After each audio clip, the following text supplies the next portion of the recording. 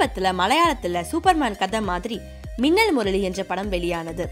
Domino Thomas மற்றும் குரு சோமசுந்தரம் ஆகிய இருவருமே சூப்பர்மேன் பவர் கொண்டதா மின்னல் முரளியா கதாபாத்திரத்தில் நடிச்சிருந்தாங்க.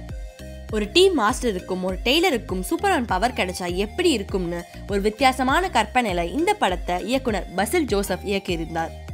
சமீபத்தில் ஒரு பேட்டி அப்போ இந்த படத்தோட ட்ரெய்லர்ல பயன்படுத்தியிருந்த பேக்ரவுண்ட் மியூசிக்கை ஏன் படத்துல பயன்படுத்தலை என்ற கேள்விக்கு பதில் சொன்ன அவர் ஒரே படத்துல எல்லாத்தையுமே பயன்படுத்த முடியாது.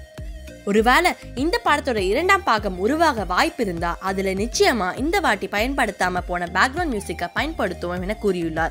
அப்படின்னா மின்னல் முரளி இரண்டாம் பாகம் உருவாகுமா என்ற கேள்விக்கு இரண்டாம் பாகத்துக்கான சாத்தியக்கூறல் இருக்கான்னு ஆய்வு செஞ்சுட்டு வரேன். அப்படி இருந்தா நிச்சயமா இரண்டாம் பாகம் உருவாகிறதுக்கு வாய்ப்பு இருக்கு என்று கூறியுள்ளார் இயக்குனர். இந்த மாதிரி நியூஸை கண்டினியூஸாக கேட்க ராஜ் டியூப் சேனலுக்கு லைக் பண்ணுங்க ஷேர் பண்ணுங்க சப்ஸ்கிரைப் பண்ணுங்க பெல் பட்டனை ப்ரெஸ் பண்ண மறந்துடாதீங்க.